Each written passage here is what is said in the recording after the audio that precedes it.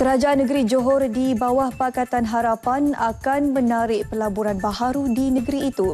Ia sekaligus menyediakan lebih banyak peluang pekerjaan dan sumber kewangan untuk kemudahan infrastruktur negeri.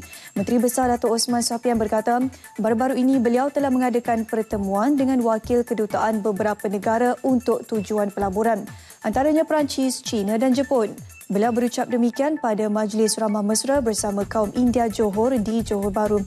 Dato' Osman memberi jaminan peluang pekerjaan tersebut akan turut merangkumi semua kaum selaras dengan janji dan manifesto Pakatan Harapan dalam pilihan raya umum ke-14.